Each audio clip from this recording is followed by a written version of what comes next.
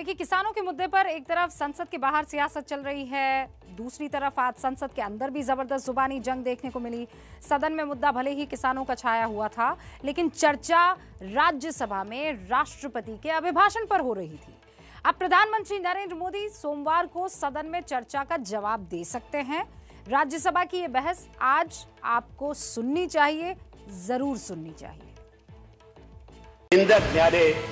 राखिए। आँगन कुटी चबाए। बिनु पानी बिनु साबन निर्मल हो सुहाए। अरे भैया पंद्रह बीस साल तो हमने निंदक को ही साथ में रखा था। भगवान का सौदा करता है वो इंसान की कीमत क्या जाने? जो धान की कीमत दे न सके वो जान की कीमत क्या जाने? वो बोल रहे हैं कि भाई ये बिल है काला और जो बोलते हैं कि ये बिल है काला उनके मुँह को क्या लगाना है क्या ताला? मेरे पास उर्दू शेर व शायरी आंकड़ों की जादू ये मेरे पास नहीं है। मैं नाटकीय ढंग से भी अपनी बात को नहीं रख सकता। और मैं टूटा तो सब टूटेगा। मैं टूटा तो सब टूटेगा जो कुछ भी है वह भी छूटेगा। मैं हूँ तो आज़ाद वतन है। मैं भारत का संविधान हूँ लाल किले से बोल रहा हूँ। देश के माननीयों का मिजाज इन दिनों कुछ ज़्यादा ही शायराना है। निंदक न्यारे राखिए। लेकिन इसी शेरो शायरी और कविता पाठ के बीच सदन में आज एक बार फिर कुछ तीखे शब्द बाण भी चले। क्या जाने? राष्ट्रपति के अभिभाषण पर सदन में धन्यवाद प्रस्ताव पर होने वाली चर्चा में आज फिर किसान आंदोलन का मुद्दा छाया रहा। सरकार का दायित्व है सुनना जनता की आवाज़ को। आज विरोध प्रदर्शन को आप अपराध करार करते हैं।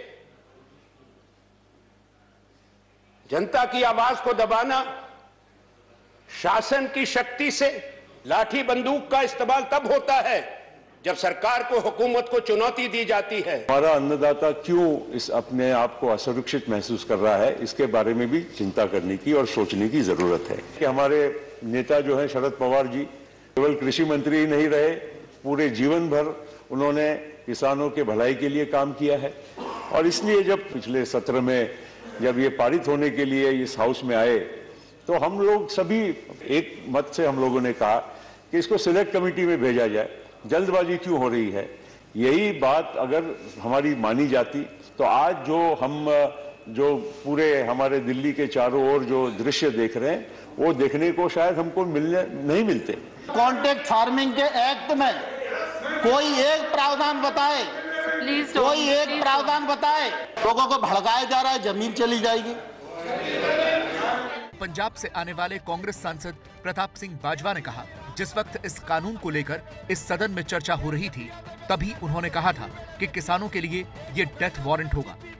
लेकिन सरकार ने बात नहीं मानी। उन्होंने ये भी कहा कि इसे डेढ़ साल के लिए रोककर सरकार ने खुद माना कि यह कानून सही नहीं है। कृषि मंत्री तोमर ने उन्हें भी जवाब दिया।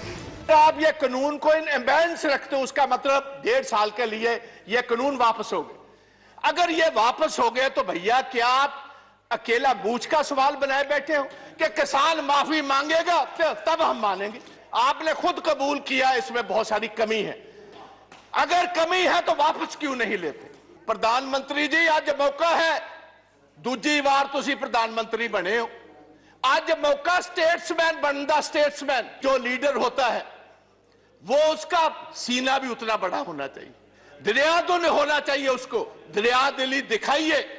आज आपको स्टेट्समैन बनने की ज़रूरत है। प्रधानमंत्री तो आप सेकंड टाइम बन गए।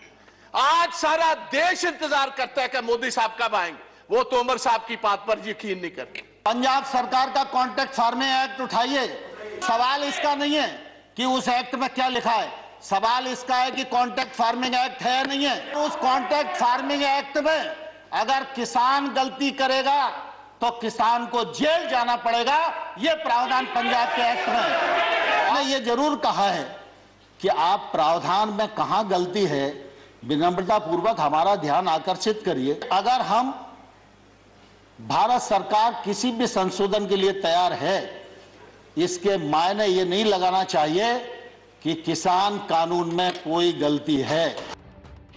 इसके बाद कांग्रेस सांसद मल्लिकार्जुन खड़गे ने बीजेपी पर शायराना अंदाज में शब्द शब्दबाण चलाए।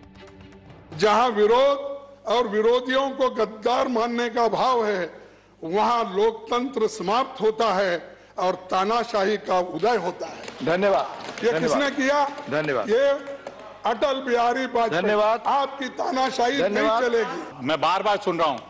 कि आप बिल्कुल बात ही नहीं सुन रहे, तानाशाह हो गए हैं, आप किसी की बात नहीं सुनना चाहते, सरकार किसी की बात नहीं सुनना चाहता। तानाशाही ये होती है। तानाशाही ये होती है, आदरणीय जयराम रमेश जी 1975 में जब इमरजेंसी लगी थी, हमारे पिताजी 19 महीने जेल में थे। और तानाशाही वो नहीं थी। जेल गए, वो बात दूसरी है। 19 महीने हमसे कोई मिलने नहीं आया।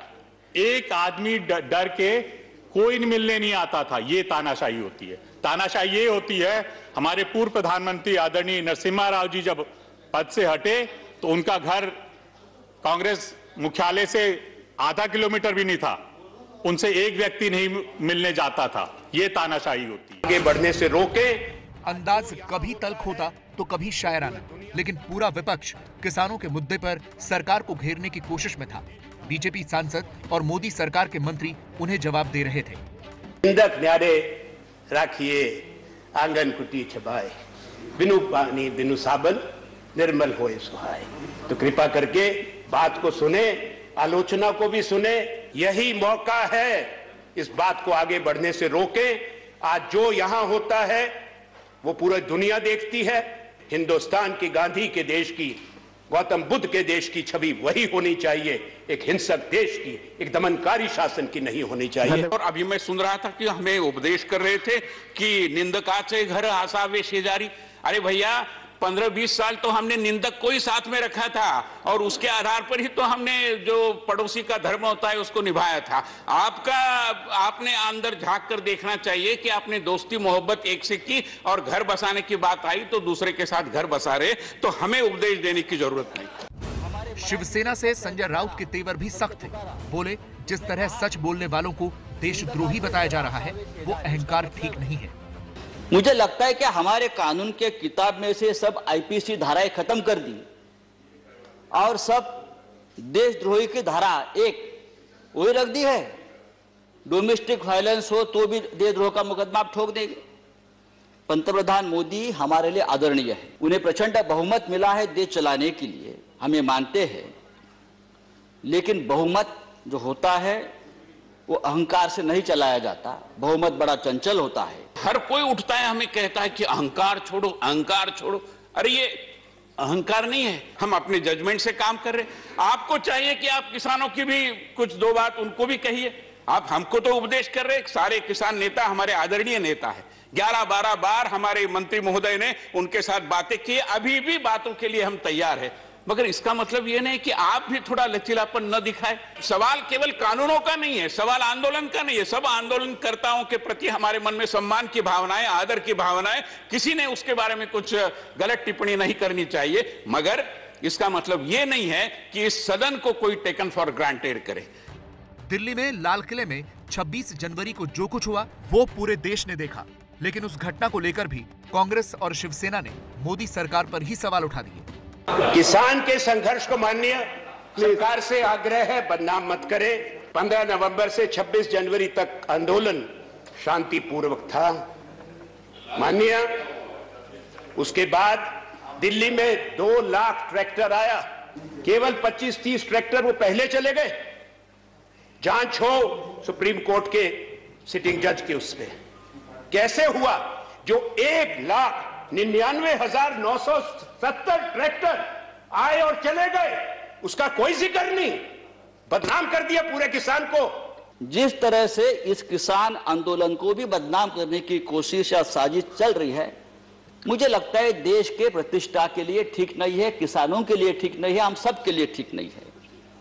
26 जनवरी, लाल किले पर तिरंगे का अपमान हुआ। उससे हमारे प्रधानमंत्री बहुत दुखी हो गए, पूरा देश दुखी हो गया। लेकिन लाल किले पर तिरंगे का अपमान करने वाला जो कोई दीप सिद्धू है, वो कौन है, किसका आदमी है, ये सिद्धू अब तक पकड़ा नहीं गया। लेकिन 200 से ज़्यादा किसान इस प्रकरण में तिहाड़ जेल में बंद है और उनके ऊपर देशद्रोह का मुकदमा चल रहा है। मैं टूटा तो सब टूटेगा। मैं टूटा तो सब टूटेगा, जो कुछ भी है वह भी छूटेगा।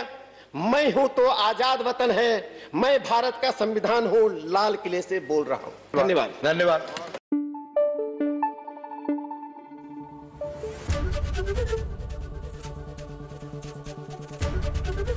एबीपी न्यूज़ आपको रखे आगे।